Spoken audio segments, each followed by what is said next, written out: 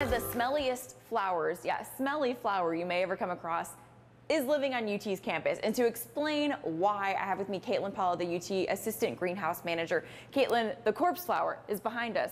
Why is it called that? So it's called the corpse flower. It actually comes from an Indonesian word which literally translates to corpse flower, and that's because of the scent that it emits. Um, it's mainly uh, smelling like a very rotten individual that um, will attract its pollinators.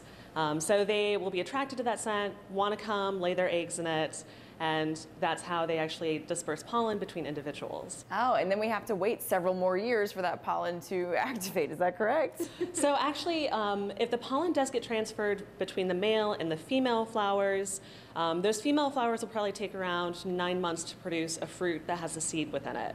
And you know, you know, hopefully that is a viable seed that can drop off, be eaten by a hornbill, which you know eats those red fleshy fruit, and will be dispersed throughout the wild. Cool, and, and that's important because this is an endangered plant. Yes, it's estimated that there are fewer than a thousand left in the wild. So very, very rare. Um, you know, there's almost that much in um, private collections and uh, botanic gardens like ours. Um, uh, there's estimated to be around 500, um, but potentially more. And if people want to come see Rotty Top, as y'all have named it, you will have hours here at the Hesler Biology Building, correct? Yes, we'll make sure that we have some extended building hours so people can come see it, smell it, and take a picture. well, if you want to come see it, smell it, take a picture, they will keep you posted online when Rotty Top is going to bloom. I will send it back to y'all.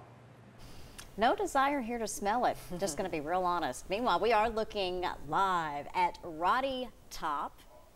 It still hasn't bloomed, but we are certainly keeping an eye out on the corpse flower.